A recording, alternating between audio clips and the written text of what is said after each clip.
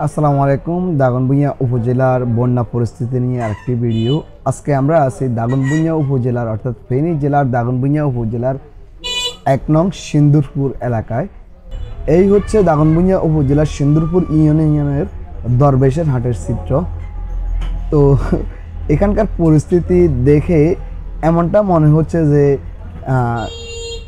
দুই চার দশ দিন নয়, দুই চার দশ বছরও এর আশেপাশে কোনো বন্যা হয়েছিল বা বন্যা পরিস্থিতি এদিকে, বন্যা পরিস্থিতি এদিকে তৈরি হয়েছিল।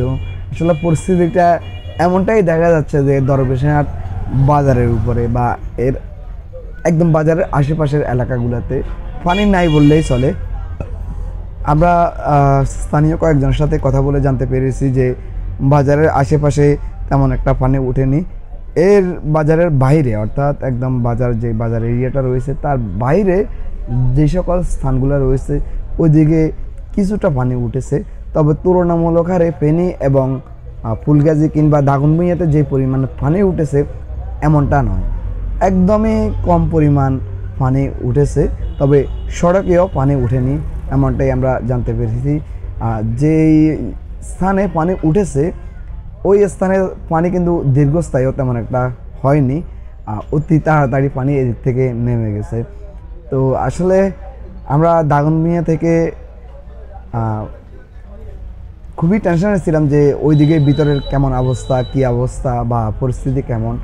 তো ওখানে আজকে যাওয়ার পরে আমার ভুলটা বাংলো যে এইদিকে পরিস্থিতি অনেকটাই স্বাভাবিক অনেকটাই স্বাভাবিক দেখে আপনারা জমিনের যদি দিকে তাকান তাহলে আপনারা বুঝতে পারবেন যে পানি এখন কেমন রয়েছে। অনেকটা গতকালকে আমি যেমন আহ, পরশুরামের ভিডিও দিয়েছিলাম পরশুরামও ঠিক একই অবস্থা পানি নেমে গেছে।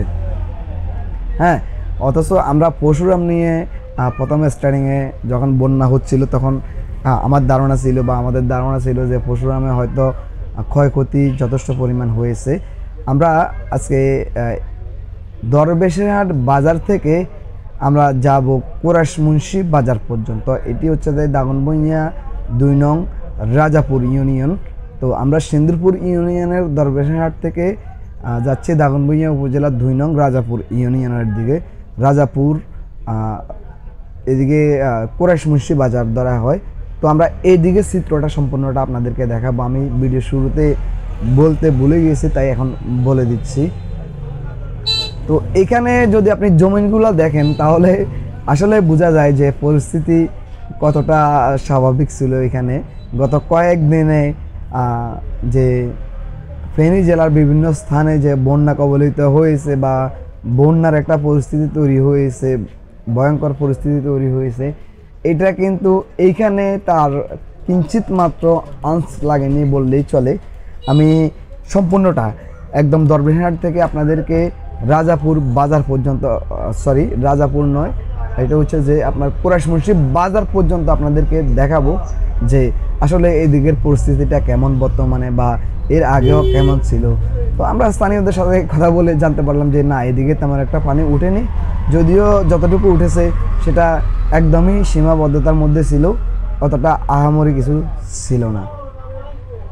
হ্যাঁ আপনি যদি আশেপাশে তাকিয়ে দেখেন, তাহলে বুঝতে পারবেন যে এখানে আসলে পরিস্থিতি কেমন। তো আমি আসলে একটু অবাক হয়ে গেছিলাম যে এই দিক নিয়ে একটু বেশি টেনশন করেছিলাম যে এইদিকে পরিস্থিতি কেমন, এইদিকে আসলে কেমন হচ্ছে। না, এইদিকে এর আগে আমার কিন্তু দাগনভূঞা উপজেলার এক নং সিন্দুরপুর ইউনিয়নে আমার আশা হলেও এদিকে আসা হয়নি। ওইদিকে আপনার রাজাপুর বাজারের একটু ওইদিকে আমার যাওয়া হয়েছে।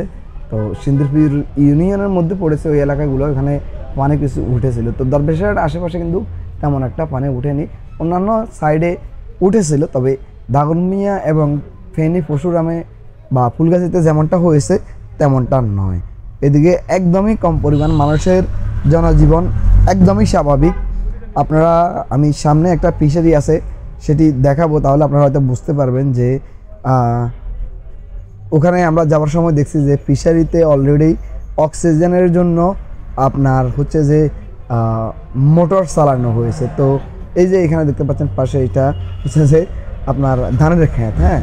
এখানে সব কিছু ঠিকঠাক আছে, স্বাভাবিক, একদম এখানকার জনজীবন একদমই স্বাভাবিক বলা যায়, একদমই স্বাভাবিক, একদম ক্লিয়ার কোনো সমস্যা আমি এখানে দেখতে পাচ্ছি না।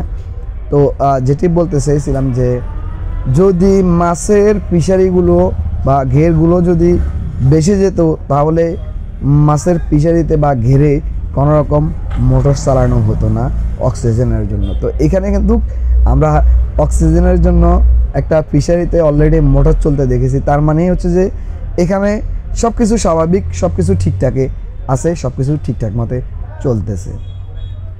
তারপরেও হয়তো বা গ্রাম অঞ্চলে কিছু জায়গায় পানি উঠেছে, সেই দিকে আমাদের তেমন একটা যাওয়া হয়নি। হয়- যার জন্য আমরা যেটুকু দেখছি শুধু এইটুকুর কথাই বলতেছি। আমরা যা দেখিনি তা নিয়ে আমরা কথা বলতে ইচ্ছুক নয়। কারণ আমরা খবর পেয়েছি যে গ্রামের কিছু অংশে পানি উঠেছে। তবে সবগুলা গ্রামে না। আপনার আহ, উপজেলার এক নং সিন্দুরপুর ইউনিয়নের কিছু কিছু গ্রামে পানি উঠেছে। সবগুলা গ্রামে নয়। যাই হোক তো আপনারা এই যে দরবেশহাটের আশেপাশে যারা রয়েছেন প্রবাস থেকে আমার ভিডিওগুলো দেখেন, তাদেরকে বলব আপনারা টেনশন করবেন না, দুশ্চিন্তা করবেন না। এদিকে মোটামুটি পরিস্থিতি একদমই স্বাভাবিক। আর এখান থেকে কেউ যদি আশ্রয়কেন্দ্রে থেকে থাকেন, আপনারা নিশ্চিন্তে বাড়ি চলে যেতে পারেন। আশেপাশের দরবেশহাট বাজারের আশেপাশের চিত্রটা যতটা দেখলাম, একদমই স্বাভাবিক। আপনি যদি এই যে আমরা এখন কুরাশমুন্সি বাজারের উত্তর অংশে রয়েছি, এখানে দেখেন পানির তুলনামূলক হারে অনেক কম অনেক কম। আপনি এই যে কুরাশমুন্সি বাজার আশেপাশে এলাকাগুলোতেও পানি ছিল, তবে এখন কমে গেছে, অনেক কম ছিল।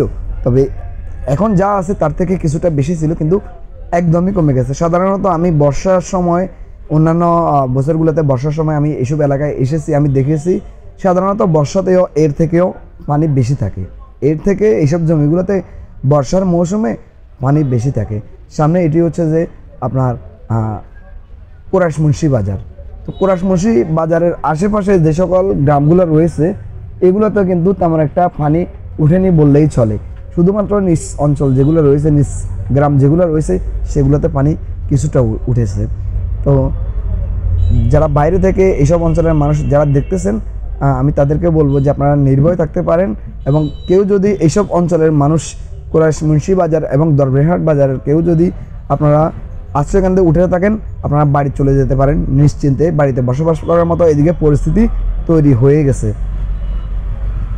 তো যাই হোক, আমাদের এখনকার ভিডিওটা ছিল দরবেশহাট বাজার থেকে আপনার কোরাসমুন্সি বাজার পর্যন্ত।